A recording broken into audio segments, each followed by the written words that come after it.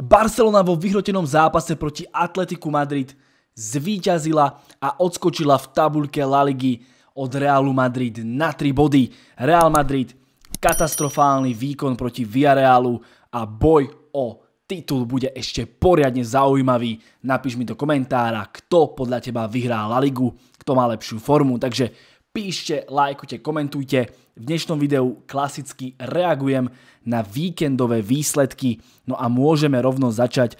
Máme tu piatkové zápasy, no a Manchester United Everton 3-1 v rámci FA Cupu. Góly dával Anthony, Cody následne vlastný, OK, to veľká teda česť Rashfordovi a následne Rashford opäť za Everton sa trafil Cody, tentokrát do tej správnej siete. Výkon United veľmi kvalitný, veľmi dobrý. Uh, chcel by som opäť vyzdvihnúť Markusa Rashforda, ktorý hral fakt vynikajúco a jednoducho celá ofenzíva stojí vyslovene na ňom. Bruno Fernández taktiež veľmi dobrý. Uh, z tých stredajúcich hráčov Garnáčo ukázal trošku také argentínskej povahy, rozhadzoval rukami, hádzal sa tam, búchal, až dokým ho Bruno Fernández teda poriadne, jak sa hovorí, nevypí, ale tak to patrí k tým mladým chlapcom, mi sa to páči, že chcú, snažia sa, Garnáčov ťah na bránu je geniálny. Mne v tomto smere dosť e, Garnáčo pripomínal Cristiana Ronalda, že jednoducho aj Cristiano Ronaldo, keď bol malý, malý, mladý, tak sa snažil, hádzal tam, kľúčkoval, hrozne chcel a Garnáčo mi ho hrozne pripomína, že jednoducho chce byť ako ona.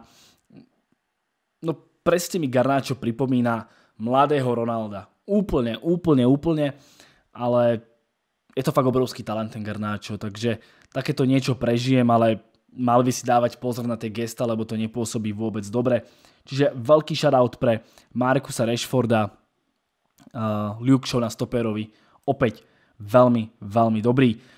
Vlastne v piatok to je všetko, čo sa nejako udialo. Poďme na sobotu. V sobotu sme tam mali opäť FA Cup, Crystal Palace, Southampton 1-2, Leicester zvíťazil proti Gillinghamu, Tottenham porazil Portsmouth 1-0, Barnley porazilo Bournemouth 2-4, veľká česť alebo veľký rešpekt Vincentovi Kompánimu, čo tam robí za robotu, Blackpool Nottingham 4-1, Fulham zvíťazil proti Hull City 0-2. Je tu ešte niekto zaujímavý. West Ham postúpil proti Brentfordu, do ktorého sa mimochodom stiahuje Beckhamov syn. Ide do Brentfordu B, ale bude súčasťou Brentfordu. Zaujímavé. Uh, ďalej Newcastle vypadol proti Sheffieldu Wednesday. Tam ale treba povedať, že pre Newcastle je to možno aj fajn. FA Cup môžu okašľať, musí sa sústrediť na top štvorku, respektíve aspoň na Európu. Majú ešte pomerne úzky káder tých možností, hlavne v ofenzíve, na krídlach. Nemajú až tak veľa, e, musia nakupovať, chýba im záložník, Shelby je out, takže je to asi OK, že vypadli, žiadna tragédia pre Eddieho Howa. A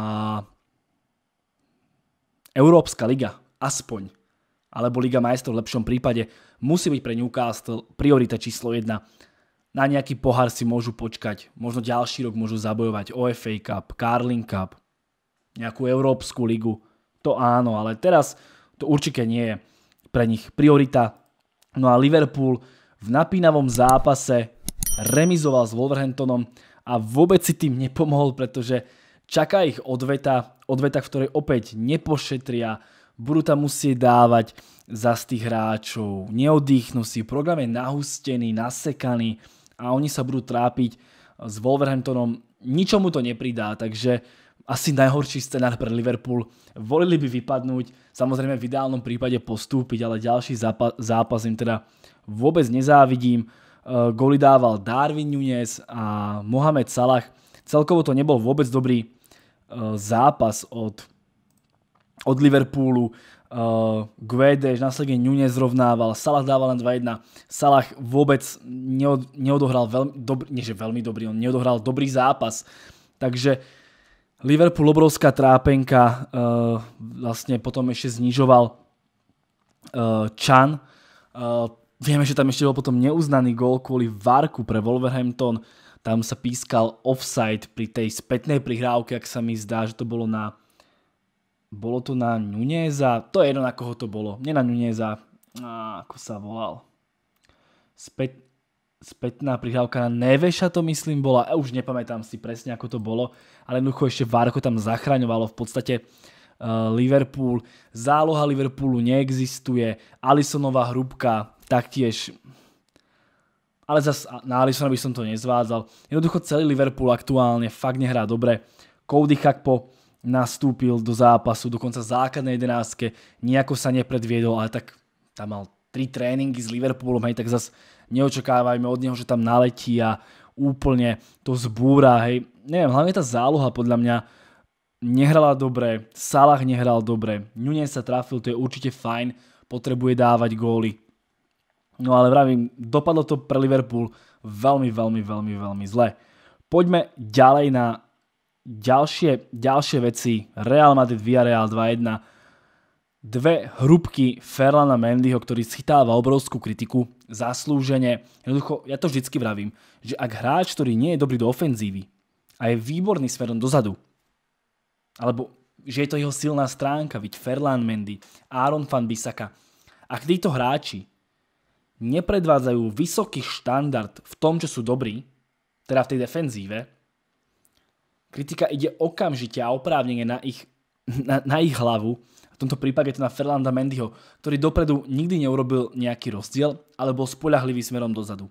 Teraz robí chyby vzadu, obrana Realu Madrid vôbec nie je dobrá v tejto sezóne a môžeme špekulovať šťastie, či to nie je odchodom Casemira, ktorý viem, že bol kritizovaný, nehral dobre, ale dával tomu nejakú defenzívnu stabilitu. To nie, že by Chouameni hral zle, ale jednoducho môžeme sa o tom baviť. A Mendy jednoducho robí chyby, prihrávka na pety, to bol myslím Tony Cross, zbytočné chyby, Villarreal zvíťazil, Real Madrid nehrá dobre. Defenzíva hra zle, ale čo je dôležité, že ani Benzema s Viniciusom už nemajú takú formu, ako v minulej sezóne. Ale čo ma tak trošku pri tom Eh, Reále Madrid upokojuje, že sa blíži tá kľúčová časť sezóny a oni tam vedia zapnúť, vedia sa namotivovať a jednoducho vedia pretnúť do takého režimu, že oni ešte z tej šestky alebo z tej peťky ešte vedia prehodiť do tej šestky a začnú nezmyselne vyhrávať a to obdobie sa blíži, takže som taký, že je to otvorené, hej, že uvidíme, ako to dopadne, ale forma Realu Madrid po tých majstrovstvách sveta nie je vôbec dobrá, Trápia sa Benzema, Vinicius tiež tá forma nie je ideálna, ofenzíva celkovo, ale aby som iba nehovoril o Benzemovi Viniciusovi, ofenzíva nemôže stať na dvoch hráčoch. Tam potrebuješ aj ten zvyšok. Chýba to celé, to jednoducho zatiaľ nejako nesedí, nikto to neťahá, takže Real Madrid nevkročil do nového roka veľmi dobre. V talianskej série a Juventus vyťazil 1-0. Ďalšie čisté konto, výkon teda nič moc, ale Juventus zbiera body. Zbiera ich šialene otrasnými výkonmi. Pragmatizmus Allegriho dosahuje svoj vrchol, svoj orgazmus. To je jednoducho, je tak odporný futbal, ktorý ale prináša výsledky, že to je neuveriteľné. Ďalšie čisté konto, ďalšie víťazstvo 1-0, nejakým ušmudľaným spôsobom v závere zápasu Juventus je na druhom mieste. Netušíme ako, nevieme ako, ale séria víťazstiev je tam ale výkony na ihrisku, to je fakt katastrofa. A áno, Juventus je druhý, to sa počíta. Hej, ale kde, kde sú potom tie ostatné týmy, kde je ACčko, kde je Inter, hej, akože aby som nebol iba príliš ofenzívny voči Juventusu, tak fakt zbierajú body, to je dôležité, ale tie výkony sú fakt obrovská tragédia. Ale pozrite na Inter. Oni porazia Neapol v pomerne dobrom zápase, mohli ho možno ukončiť aj v prvom, zápa- v prvom polčase, potom príde Monza, gol dával Darmian, Lautaro Martinez a oni remizujú proti Monze. Proti Monze remizujú.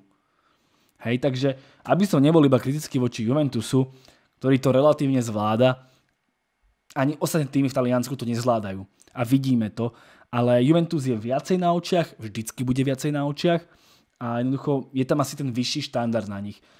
Hej, ale takže nemôžeme chváliť ani Inter. Ale zase Inter aspoň ukáže, že oni vedia niekedy hrať futbal. Dokázali to. Proti Barcelone a teď a teď. Hej, ale ten Juventus, to je fakt trápenka, takže len tak trošku na vysvetlenie. No a poďme teda ďalej, čo tu ešte, čo tu ešte máme. Sobotnejšie zápasy sme myslím teda uzavreli. Tu už nemáme nič také, čo by stalo za zmienku. A môžeme ísť na ten včerajšok. Z tých Leeds 2-2 proti Cardiffu. Aston Villa prehrala proti Stevenage. City Chelsea 4-0 vysoká škola futbalu zo strany Manchester City a Chelsea ukázala, že na tom tragicky. City ich vyškolilo. To boli proste škôlkary proti vysokoškolákom, proti profesorom. Výkon Chelsea, obrovská, obrovská tragédia a tá kritika na Grahama Pottera rastie, ale brutálne.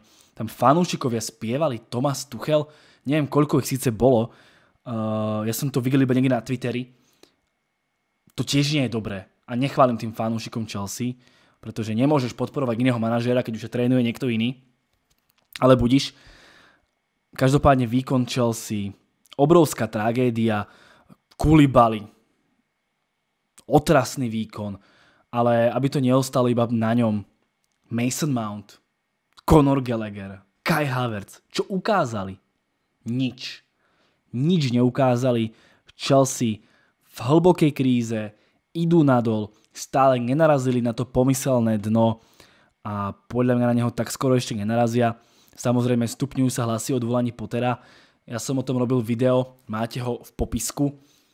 Ani po tomto zápase si nemyslím, že by ho mali odvolať, ale jednoducho kritika sa stupňuje a Chelsea nemôže byť takto dole. Toto bol iba FA Cup, chvala Bohu, ale keď to takto v lige bude pokračovať ďalšie 2-3 kola, tak Potter poletí či sa budeme oháňať koncepciou alebo nebudeme, Chelsea nebude môcť byť 15.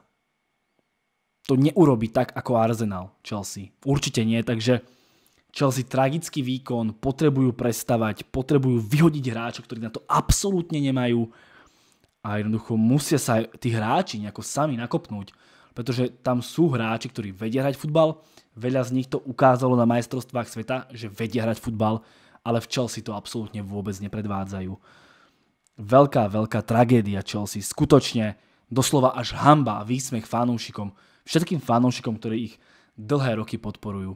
Neuveriteľne, ako to bolo zlé. Samozrejme veľký shoutout pre Manchester City, ty, to bola exibícia. Hej, ty si tam robili, čo chceli. No a uzatvárame to zápasom, a ešte tu máme síce Taliansku ligu, môžeme teda na Taliansku ligu. Neapol zvíťazil 0-2 v zápase proti Sampdorii, AC AS Rím. AC vyhráva 1-0, AS Rím bráni. AC vyhráva 2-0, AS Rím stále bráni. Príde 80. minúta, AS Rím začne hrať futbal, AC sa pre mňa aj logicky stiahne, však to tak vždycky je, že proste v závere ten druhý zatlačí. Jedna štandardka, boom, 1-2, zdramatizovaný zápas, boom, 2-2 vyrovnané, Jose Mourinho vysmiatý, z vonkajšieho zápasu proti AC si odváža remízu. Možno aj nevie ako, defenzívne ponatie hry, proste bojovný AS Ring, ktorý fakt 80 minút skoro nič neukázal a raz vystrelil na bránu, alebo celkovo raz vystrelil, nakoniec za dva góly AC. Je to samozrejme aj na zamyslenie AC, že čo tá defenzíva, ako, ako to môžu dopustiť, ako môžu takto brániť, na druhej strane vysoká škola Joseho Mourinha. Čo z toho, že AC hralo lepšie 80 minút, keď nakoniec si odniesli z toho zápasu to isté, čo AS Rím. Hej, takže opäť Mourinhov pragmatizmus v praxi jednoducho je to král. Aj keď samozrejme to herné poňatie nie je fajn. No a Atletico Madrid Barcelona. Barcelona dala gól. Môžeme sa baviť o tom, uh, o tom góle, či to nebol faul. Priznám sa, ja som skôr taký, že ja by som asi odpískal faul. Že za mňa by to bola teda menšia tragédia, alebo ak by to rozhodca odpískal, podľa mňa všetci by si, alebo väčšina ľudí by si povedala, že OK, že boli tam ruky. Tak to trošku vrhá taký zlý tieň, ale zase nechcem to zhadzovať na rozhodcu, bolo to proste diskutabilné a Myslím si, že aj teraz sa vás opýtam, či by ste odpískali ten faul alebo nie, že bolo by to 50-50 a možno by to bolo 50-50 aj v rámci tábora fanúšikov Barcelony, že niekto povie, ah, OK, fandím Barce, ale bol to faul. Napíšte mi do komentára. Atleti následne ukázali, že vedia hrať futbal, zahrozili, mali šance, Barcelona bola stratená, môžeme povedať. Druhý polčas bol už taký, že atléti hrali, Dembele tam mal pár náznakov. Druhý polčas môžem nejako zabaliť do kolónky, že pomerne vyrovnané, aj keď atleky sa mi možno páčili trošičku viacej, ale aj Barsa už, už to nebolo ako v prvom polčase, v tej druhej polovici toho prvého polčasu, že atleky totálne prejeli Barcelonu. Už to až také nebolo. V závere najväčšia šanca zápasu Griezmann Araujo to vykopol, možno aj nevie ako z bránkovej čiary, to bolo také, že wow.